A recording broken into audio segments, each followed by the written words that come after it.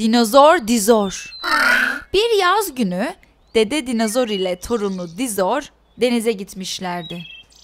Deniz kenarında bir yaz eğlencesi düzenlemeyi planlıyorlardı. Dalgalar dı dı sesiyle sahile vuruyordu. Dede usta davulcuydu.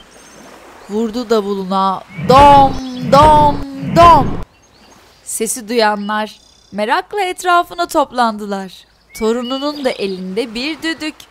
Üfledi düdüğünü dı dı. Düdükten dı dı dan başka ses çıkmıyordu. Çünkü Dizor düdük çalmayı bilmiyordu. Uğraştı, didindi. Düdüğü çalmayı öğrendi. Düdüğüyle düt dürü düt dedesine eşlik etmeye başladı. Eğlenceye katılmak için ta uzak çöllerden bir deve gelmişti. Bir de dana vardı.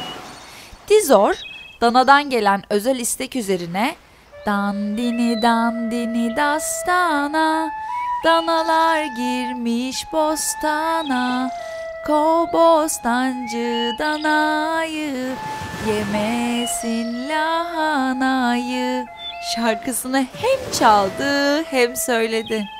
En büyük alkışı o gece Dizor topladı.